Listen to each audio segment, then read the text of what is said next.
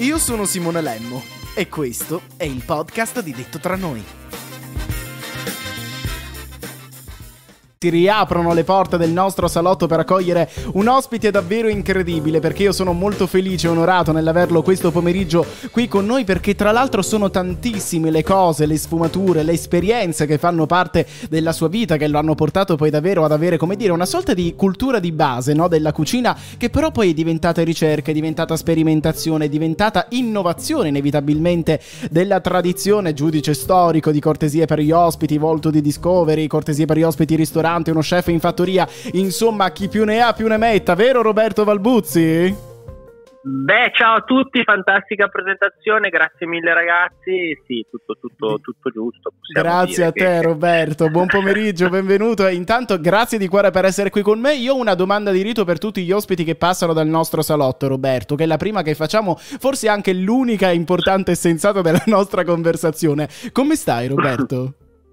Molto bene, molto molto bene, siamo in un periodo fantastico di, cre- di, di, crescita e di stanchezza da una parte perché abbiamo i bimbi ovviamente che sono in quella fase eh, un anno il, pre- la, il, più piccolino, tre anni la, la, grande e mezzo, quindi a livello diciamo familiare una bella evoluzione, un bel cambiamento eh, è un arricchimento insomma quotidiano che ogni giorno scopri tante cose nuove e, e incastri poi la, la, famiglia in mezzo a quello che è il, l'aspetto lavorativo, perciò facendo quadrare tutto insieme è un bel periodo di tanta felicità, tanto, tanto intenso e tanto pieno, ecco.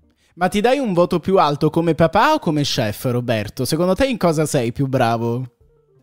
Mm, no, credo di essere un, un, papà, un, papà, da 12 e uno chef lo lascio giudicare agli altri, dai, ecco. Però anche lì il papà da 12 lo, lo giudicheranno i miei figli quando saranno grandi. Ecco, quindi avremo intanto, modo... In, in, in, cerco di dare il mio meglio, ecco, dai. In un'intervista insieme nel 2040 magari eh, sentiremo anche i tuoi figli che ci racconteranno che papà è stato Roberto Valbuzzi. Invece, a esatto. proposito di eh, definizione di etichette, in una insomma delle tue creature, una dei tuoi libri cuoco, ristoratore autore contadino ricette, sapori e ricordi fatti d'aria, terra, acqua e fuoco, ti definisci appunto cuoco, ristoratore e contadino, no? che sono le tre dimensioni che principalmente ti appartengono. Quale di queste sfumature hai scoperto per prima nel tuo processo di, di crescita, di formazione, anche perché poi l'ambiente familiare nel tuo percorso lavorativo, professionale è servito tantissimo, Roberto?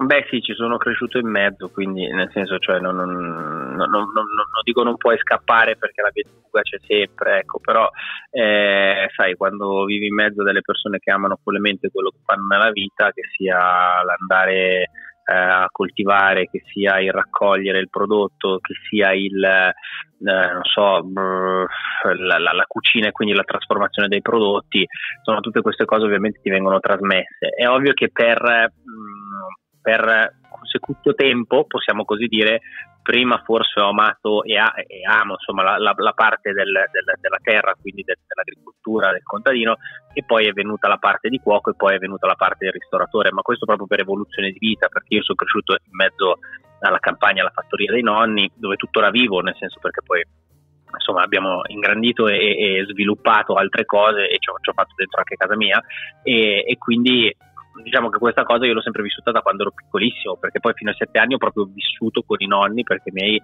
facevano fatica a tenermi, insomma, perché ovviamente lavoravo tutti i giorni al ristorante, era un po' un problema, quindi sono cresciuto con nonno e nonno e sono cresciuto in mezzo a, a, ai campi e perciò questa cosa sai, è venuta fin da subito, no? Cioè quello che è pianta la piantina, viene sul pomodoro, raccogli il pomodoro, che buono il pomodoro, come cucini quel pomodoro, cioè è proprio stata una cosa così.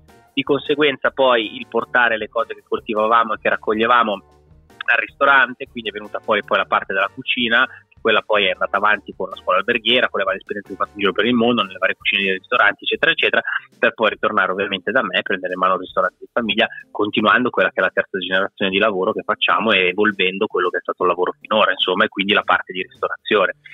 Roberto, tu, tu, una volta hai raccontato e hai detto il ristorante per me era ed è tuttora casa perché era un luogo di amore per via delle persone che c'erano e per quello che si faceva. Ma è vero che papà non voleva proprio che tu entrassi in cucina minimamente, cercava di tenerti alla larga?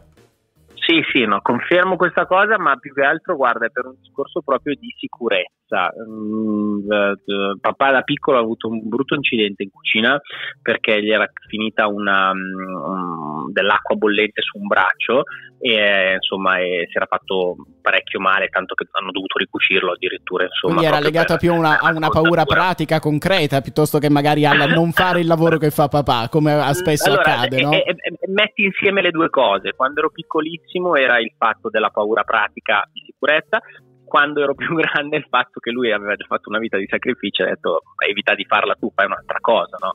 Però poi sai, quando, quando come dicevo prima, quando ami alla follia questo mestiere eh, fai fatica a non trasmetterlo certo, agli quando altri. la passione è talmente è... grande è normale bravissimo, ma è come il vostro mestiere. Quando ci tenete compagnia al pomeriggio e ascoltiamo la radio, la passione oltre la musica è quello che ci arriva no? ai, ai noi ascoltatori. E quindi questa cosa più sei appassionato più ovviamente la senti e più ti porta ad ascoltare quel programma o quella determinata persona, ecco. E questo è un po' il nostro mestiere, insomma, attraverso i piatti, attraverso la passione che ci mettiamo in questa, in questa cosa qua, ovviamente arrivano, arriviamo alle persone che poi vengono a mangiare da noi al ristorante o comunque a quelle che ci seguono, ecco. C'è una cosa... è un po' il gioco. C'è una cosa, scusami Roberto, che tu hai detto qualche tempo fa che mi ha molto colpito, perché hai detto quando io faccio un programma televisivo, comunque porto anche le telecamere, magari dentro il mio ristorante, c'è un motto che aleggia, insomma, nella tua interiorità, in tutte le persone che lavorano con te e ti collaborano, ovvero stasera facciamoli sognare, questo è quello che tu hai detto, sì, è che è una cosa bellissima, no? Perché inevitabilmente passa il benessere del cibo, di quello che si prepara, l'amore, no? Magari che si mette in quello che inevitabilmente si crea. Ora facciamo finta che questa volta invece di essere giudice di cortesie per gli ospiti, sei tu che devi accogliere a casa tua degli ospiti. Qual è la cortesia principale che proprio non deve mancare? Cioè, che tu faresti per far sognare davvero i tuoi invitati? Cosa non manca nella casa o in una sera a cena firmata Roberto Valbuzzi? Eh, questa è una bella cosa perché si, la, sai, la, la, l'ospitalità si sviluppa in tanti punti di vista, è un'esperienza a 360 gradi di dettagli.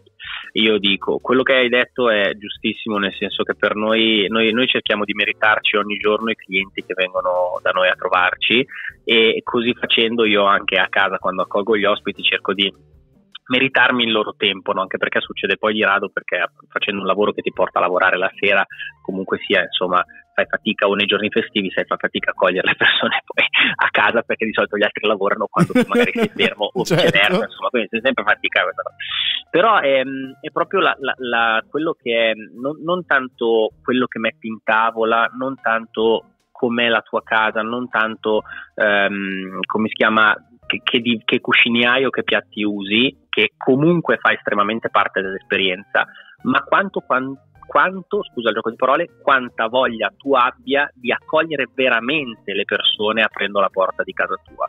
E credo che parta proprio da lì la differenza, nel senso che se tu sei predisposto proprio ad aprire le porte di casa tua, a metterti ai fornelli e poi cucinare una pasta anche in bianco, dico una cavolata, una pasta al sugo, un, un, un buon pesce, un, due gamberi crudi e poco più, mettere due piatti giusti senza chissà far cosa, ma pensati, già queste piccole cose messe insieme con la voglia proprio di accogliere è quello che ti fanno fare l'esperienza, ecco, ti danno quel calore che è un qualcosa di immateriale ma che ti fa, ti fa sognare. No, questo è un po' il senso. La mia nonna dice sempre a Roberto che poi la differenza, forse nella cucina soprattutto, è proprio l'amore che metti. Cioè, lo stavi dicendo tu molto spesso, anche una pasta in bianco, però poi è l'amore, no? Magari con la quale la realizzi, la crei e la offri Guarda, inevitabilmente ma... agli altri che fa la differenza.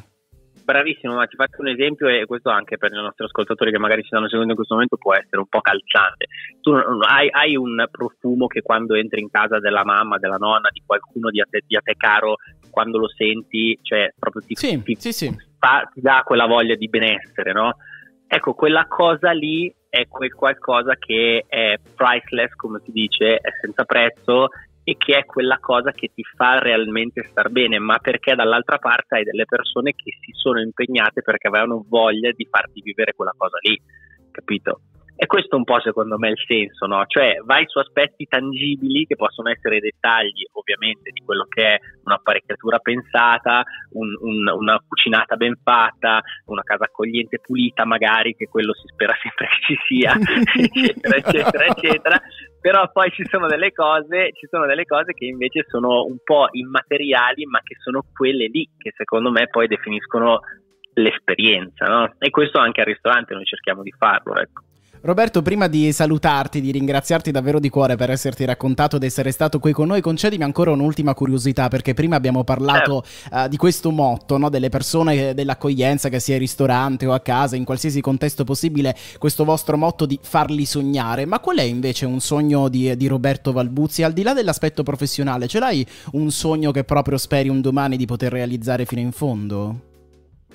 Ma guarda, ehm, ti, ti, ti, ti dico la verità, so, sono sincero che tempo fa eh, ho ripreso in mano un vecchio libro eh, dove chiedeva appunto quali fossero eh, i tuoi obiettivi o i tuoi sogni no, insomma, nella vita. E sono sincero che rileggendolo mi sono accorto di aver praticamente raggiunto tutto, tutte quelle cose che, che, che, mi, che, mi, ero scritto a me, a me stesso di 15 anni fa. Perciò ti dico, eh, più che un sogno o un obiettivo che eh, ho, ho, avuto la fortuna e, e, ci ho messo tanto impegno per riuscire a raggiungere quelli che già avevo in testa e, e, e sarebbe un, un, desiderio, diciamo, di non so come dire, un desiderio un po', un po', semplice da questo punto di vista, però mi piacerebbe nella mia vita avere eh, una piantagione o costruire una piantagione di vaniglia in Madagascar. Questo è proprio uno di quei sogni nel cassetto che è lì e che condivido con mia moglie. Ecco. Step by step, Roberto, passetto dopo passetto, sì. magari fra vent'anni ci ritroviamo. Avanti, cioè, no, 30, dico, anche capito? 30 ci ritroviamo 30. tutti in Madagascar nella tua piantagione è, di vaniglia. È uno, è, uno quei, è uno, di quei, sogni in pensione, non so come dire. Ho capito, ho capito. No? Ci sono quelli che vanno in pensione no, e poi no. si concentrano sui cantieri. Roberto guarderà la piantagione di vaniglia. Va Bravo, cioè l'idea di stare in mezzo ai fiori, al profumo della vaniglia, non so questa cosa qua. Ma lo capite, lo capite davvero che, che questo ragazzo, come dice la sua nonna, è davvero genuino come si mostra. La nonna ha ragione, puoi dirle che Simone Lemmo dice che dà ragione alle sue parole, sacrosanta. Come, dire, come direbbe la nonna è Ageldisi, Ageldisi. Roberto è stato davvero un grande piacere, un grande onore averti qua, ti ringrazio per averci permesso grazie davvero di entrare nella tua vita, ti abbraccio forte, buon lavoro e grazie davvero, ci risentiamo prestissimo magari per parlare di nuove avventure oppure di questa vaniglia in Madagascar. Fantastico, un bacio a voi e a tutti gli ascoltatori. A te, grazie a Roberto Valguzzi, ciao ciao ciao. ciao.